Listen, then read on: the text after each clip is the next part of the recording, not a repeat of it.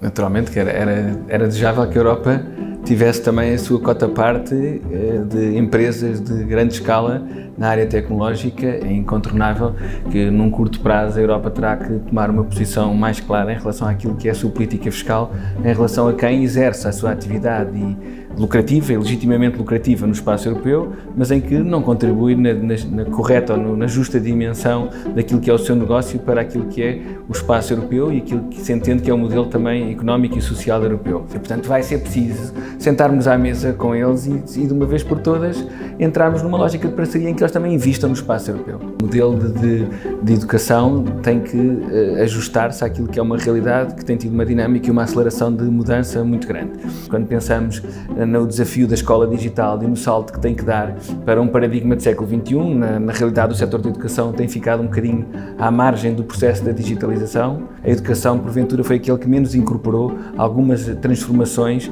que decorrem da, da era digital. A razão para termos 30 alunos numa sala de aula com o formato que temos hoje não foi propriamente uma escolha pedagógica de este é o melhor formato e o mais eficaz ou o mais eficiente. A ideia de, não, de eliminarmos a intermediação jornalística com tudo aquilo que traz de carga deontológica ou de, de preocupações de base deontológica e de valores e que passa a haver uma, um, um contacto direto entre o produtor de um conteúdo e o cidadão individual via rede social, onde podem injetar sem, com, com um nível de controle limitado por parte do consumidor daquela informação. Podem injetar conteúdos e, informação que pode vir do ponto de vista de factual enviesada, é, é algo que eu acho que é muito preocupante e que já temos hoje em dia evidências uh, confirmadas e factuais de que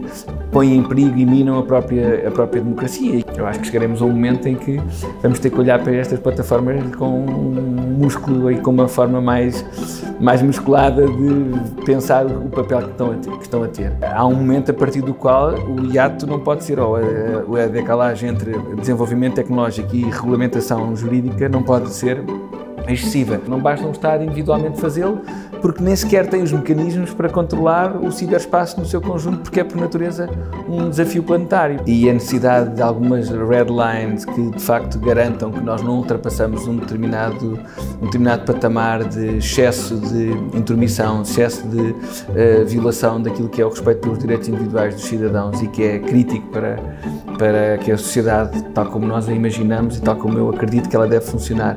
possa, possa, possa funcionar de forma saudável. Uh, estamos nesse, nesse ponto de charneira em que é preciso, de facto, começar a atuar de forma mais proativa. Não liderar, não estar à frente, não estar ciente desta incerteza e não querer ser consequente com aquilo que sabemos, que também à data de hoje, com a informação que temos, que é o caminho correto, é comprometer estas gerações futuras que acabou de referir que queremos naturalmente garantir o melhor, para quem queremos garantir o melhor futuro.